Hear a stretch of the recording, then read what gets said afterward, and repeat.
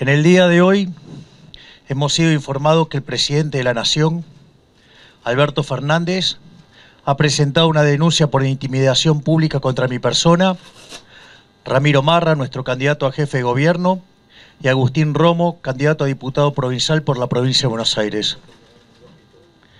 Esta denuncia se presenta luego de que el ministro de Economía, Sergio Massa, dijera ayer ante los medios de comunicación que iban a meter preso a los supuestos responsables de la corrida cambiaria que estamos viviendo. También se sumaron a esto declaraciones de miembros de la CGT pidiendo abiertamente mi detención para que no pueda asumir en el caso de ganar las elecciones presidenciales.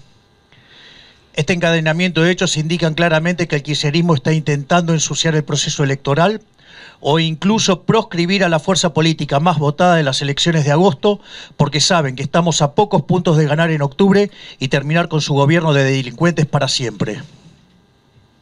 No vamos a aceptar bajo ningún punto de vista que el gobierno pretenda desligarse de la responsabilidad que tiene en el descalabro económico que están ocasionando con las medidas que ellos mismos tomaron. Yo les pregunto, ¿acaso yo soy responsable del déficit fiscal? ¿Acaso soy responsable de la misión monetaria? ¿Acaso soy responsable de la toma de deuda? ¿Acaso soy responsable de la esterilización con les leaks? ¿Acaso soy responsable de cada una de las regulaciones que están destruyendo el sistema productivo? ¿Acaso soy responsable del cepo?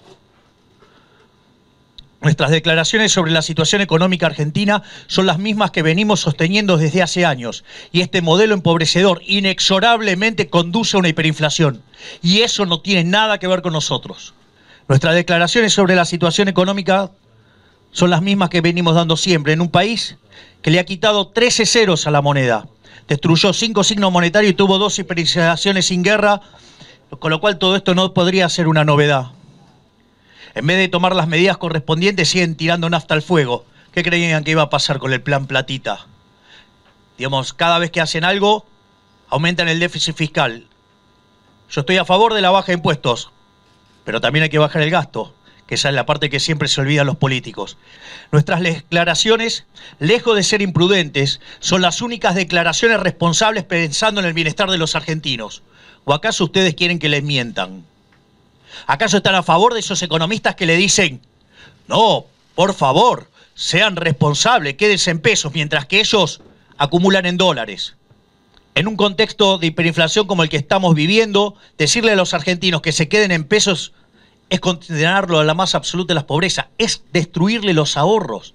Si ustedes le hicieran caso a estos políticos, en el año 2001, con mil pesos, tenían mil dólares, y si se hubieran quedado con los pesos, hoy tendrían un dólar. Lamento haber visto a periodistas y a la pseudo oposición hacerle juego al gobierno en estos días, sumándose a esta canallada. ¿Acaso, digamos, Juntos por el Cambio quiere lavar las culpas del ministro Massa? ¿Tendrá que ver con las reuniones que tuvo, digamos, el señor potencial ministro de Economía, Carlos Melconian, con el ministro Massa? Al presidente Fernández, la vicepresidente Kirchner y el presidente en funciones, el ministro de Economía Sergio Massa, le decimos lo siguiente, hagan todas las denuncias que quieran. Nada va a poder evitar la paliza que les vamos a dar dentro de unos días en las urnas.